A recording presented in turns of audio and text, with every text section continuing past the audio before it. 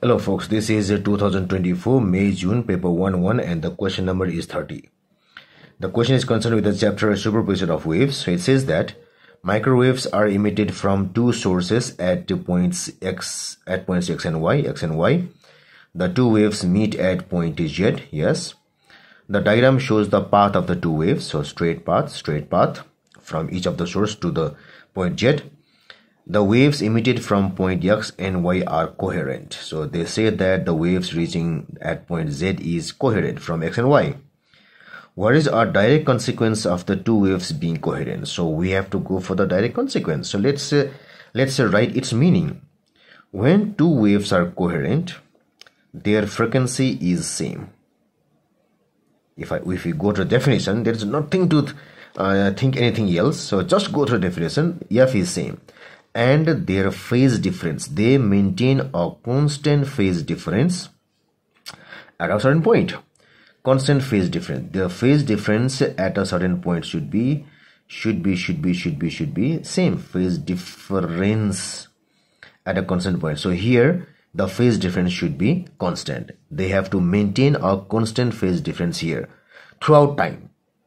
So if it is uh, the difference is uh, maybe 6 pi right now it should remain 6 pi after 1 hour 2 it should remain 6 pi after half hour 2 it should remain 6 pi after 50 minutes 2 it should remain 6 pi after 2 hours 2 and so on. So these are the two requirements of coherent wave. So let's see. Number a. There is a constant difference in the path lengths x y and x z. Constant sorry uh, y z and x z. Y z and x z difference in path length. So it could happen. It could happen. Because when there is phase difference there should be path difference as well. And if uh, the the phase difference is constant the path difference is also constant. So it could be could be.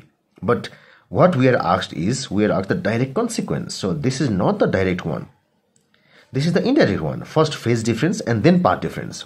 Second there is a constant difference in phase between the two waves at z. Yes this is the direct statement constant difference in phase between the two waves at z. So this is more feasible than this. See, there is a constant non-zero difference in frequencies of the two waves at z. So at z, there is difference of frequency. It says it says there is a difference in frequency.